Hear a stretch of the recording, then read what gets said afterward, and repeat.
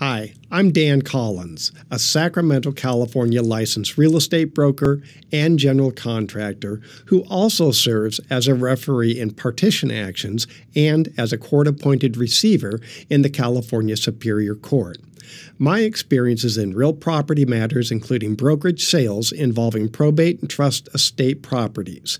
If you are a California fiduciary administering a probate or serving as a substitute trustee in an estate, I can help you effectively execute your duties that attorneys do not help you with. To learn more, please visit my website, collinsfiduciarybroker.com. Today, I want to talk with you about how to properly protect yourself when administering an estate with real property during construction for repairs, maintenance, and renovations when they are necessary. As the administrator or trustee of a state owned real estate, you assume a lot of liability when you undertake construction projects. There are lots of things that can and do go wrong in construction. Probate administrators and trustees temporarily own the real estate property until the estate can be settled and assets distributed to the rightful heirs.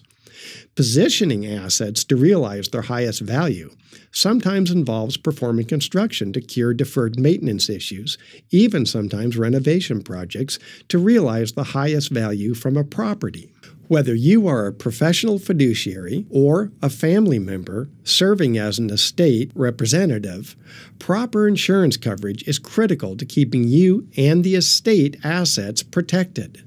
Employing layers of responsibility using properly licensed general contractors who hire properly licensed insured subcontractors is the best way to approach these necessary repairs and renovations securing certificates of insurance that name the administrator and or trustee and the estate as additional insureds for liability and workman's compensation insurance coverage is a critical protection requirement for yourself and the estate.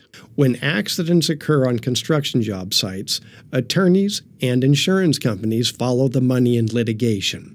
Because estate properties are often owned free and clear of debt, those properties become targets to satisfy litigants who seek remedies in law.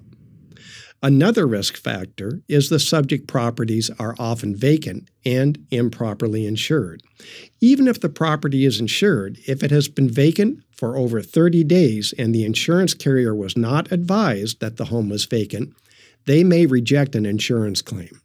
This is because you must advise your carrier when a property is vacant because the required coverage is different for vacant properties versus occupied properties.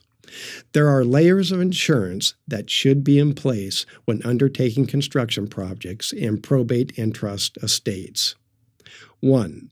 The home or income property should be insured as vacant property if it is not occupied or you risk not being covered for an event.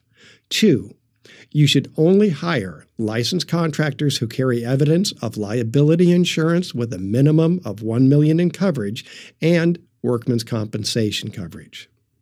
3. As a fiduciary of an estate, you want the general contractor's carrier to name you as an additional insured, along with the estate named as an additional insured too. Four, and finally, all subcontractors who work on the job should carry proper liability and workman's compensation insurance coverage.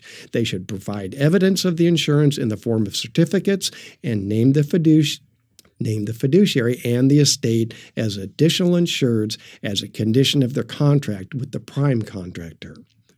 If you follow these recommended layers of insurance and additionally named insured, you will be employing best practices to protect yourself as a fiduciary as well as the estate assets you are charged with protecting.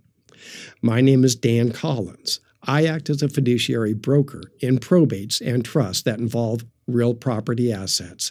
To learn more, please visit my website, collinsfiduciarybroker.com. Thank you for joining me today.